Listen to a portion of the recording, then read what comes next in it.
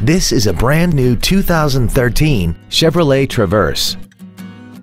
This crossover has a six-speed automatic transmission and a 3.6-liter V6. Its top features include a navigation system, Bluetooth cell phone integration, a rear-view camera, traction control and stability control systems, XM satellite radio, aluminum wheels, and a tire pressure monitoring system. The following features are also included.